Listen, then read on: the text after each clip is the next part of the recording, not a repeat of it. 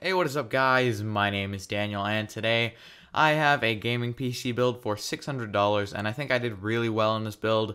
Uh, so yeah, let's get into it. For the CPU, I went with the AMD FX 6300 3.5 gigahertz 6 core processor.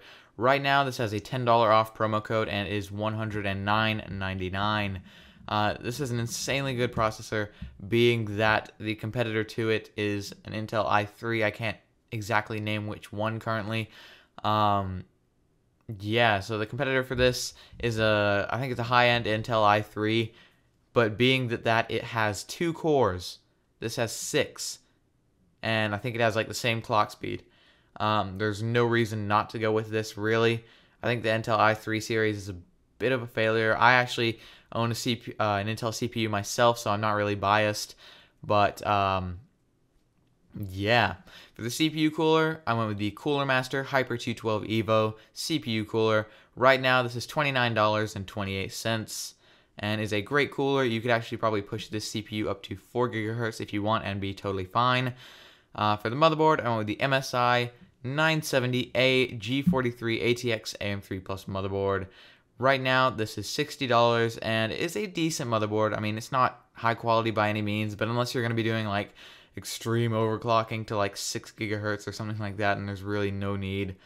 Um, so yeah, that's that for the memory. I went with the G.Skill Ripjaws X series, 8 gigabytes, which is two sticks of 4 gigabytes. DDR3 1866 megahertz memory. You heard me right.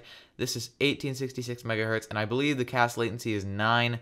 So if anything, this will actually be an upgrade from 1600 megahertz.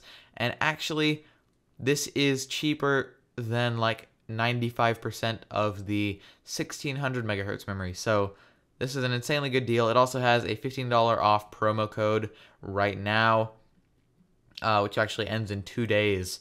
So, eh, I don't know. But uh, still great quality RAM for the price nonetheless. Uh, so for the storage, with the Western Digital Caviar Blue 1 terabyte 7200 RPM internal hard drive. Right now, this has a $5 mail-in rebate and is $58.98. Uh, this is kind of just your standard hard drive, not too slow, not too fast, not too reliable, not too unreliable. Um, not much you could say here. It doesn't have a huge capacity. It's only one terabyte. But again, hard drives are really easy to upgrade, so you can do that whenever. Uh, for the video card, I went with the Asus Radeon HD 7870 GHz edition 2 gigabyte video card. And right now this has a $20 mail-in rebate, which makes it $185.98.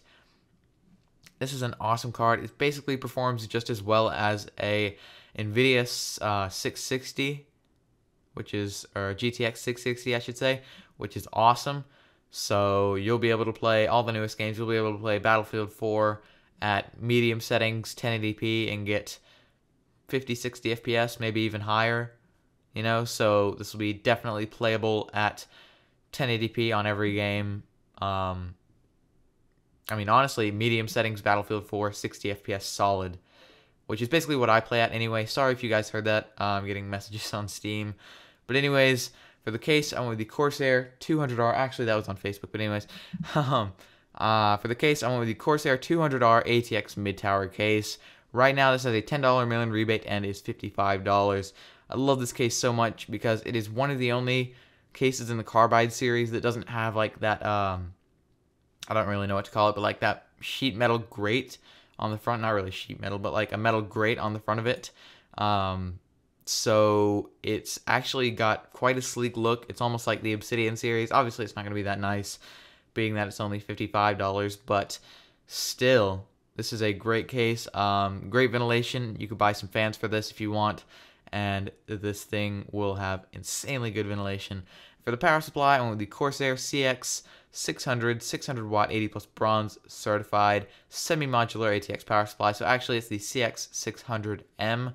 So it is semi-modular, but right now it has a $20 mail-in rebate, making it $50, which for this, uh, it's actually the same price as the regular CX600, so there's really no reason not to buy this. And actually, the PCPartPicker.com ratings for this uh, power supply have been going up substantially since it has had this mail-in rebate, and it is a great quality power supply.